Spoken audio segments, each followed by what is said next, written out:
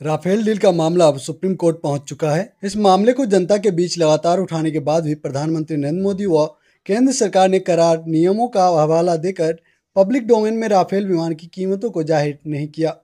लेकिन अब इस मामले में कानूनी प्रक्रिया शुरू हो रही है। एक वकील के द्वारा दायर किए गए पीआईएल को सुनवाई के लिए सुप्रीम कोर्ट ने स्वीकार कर लिया है। सुप्रीम कोर्ट की ओर से तीन जजों की बेंच इस जनहित याचिका की सुनवाई करेगी। Chief justice Ranjan Gogoi, justice S K Paul व justice K M Joseph Rafale deal में गड़बड़ी मामले की सुनवाई करेंगे। भारत व फ्रांस के बीच हुई राफेल डील के मुद्दे पर नए जनहित याचिका पर सुनवाई के लिए सुप्रीम कोर्ट के तैयार होने के बाद राजनीति गरमानी तय है। जानकारी मिल रही है कि सुप्रीम कोर्ट ने केंद्र सरकार से डील के बारे में जानकारी मांगी है।